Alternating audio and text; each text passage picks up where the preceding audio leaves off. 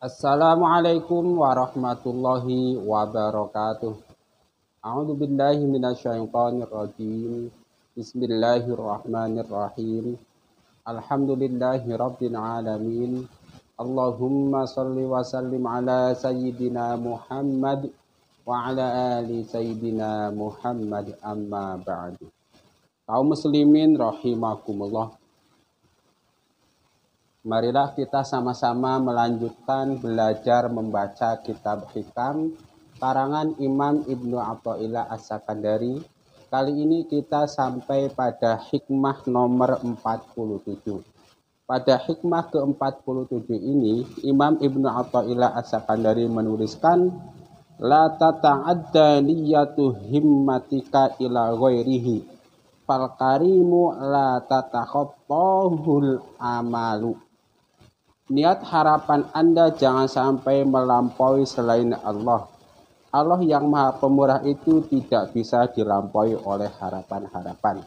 La tata'adda niyatu himmatika ila ghairihi fal karimu la tatakhattahu al amalu. Kaum muslimin rahimakumullah. Maksudnya begini. Kalau kita punya niatan, kalau kita punya keinginan, kalau kita punya angan-angan, maka semuanya itu jangan sampai kita berharap kepada selain Allah. Karena apa? Kalau kita berharap kepada selain Allah, bisa membuat kita celaka dan putus Kalau kita minta pertolongan, hanya mintalah kepada Allah. Kalau kita punya keinginan, mintalah dikabulkan hanya kepada Allah. Karena selain Allah tidak mungkin bisa mengabulkan. Begitupun ketika takut, kita takut butuh perlindungan berlindungnya hanya kepada Allah. Kenapa? Nah, coba kita cek. Zat yang maha wujud sejati itu siapa? Ah, Allah. Selain Allah, wujudnya itu karena diadakan oleh sekarang bagaimana mungkin kita mohon pertolongan kepada sesuatu yang dia tidak bisa membutuhkan dirinya sendiri? Kita mohon kepada pejabat misalnya. Pejabat sendiri ketakutan di PHK oleh atasannya. Atasannya sendiri ketakutan diturunkan oleh rakyat dan terus.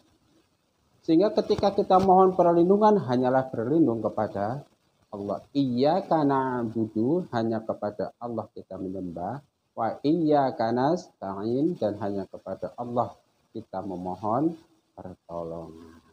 Allah itu tempat bergantung kepada kita. Allah itu tempat bersandar kepada kita. Kalau kita kepengen kekayaan yang banyak, mintalah kepada Allah. Kenapa?